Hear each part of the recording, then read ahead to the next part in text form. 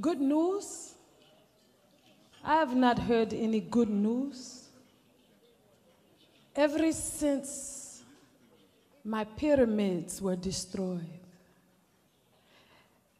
they destroyed my home.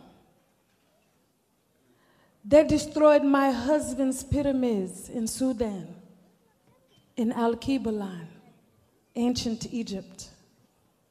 They destroyed the books in Timbuktu.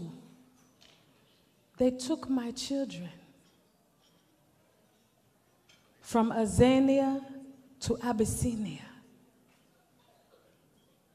And they took my children all over and made them second class citizens.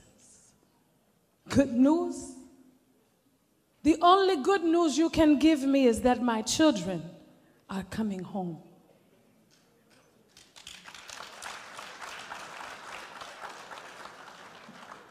Let the celebration begin.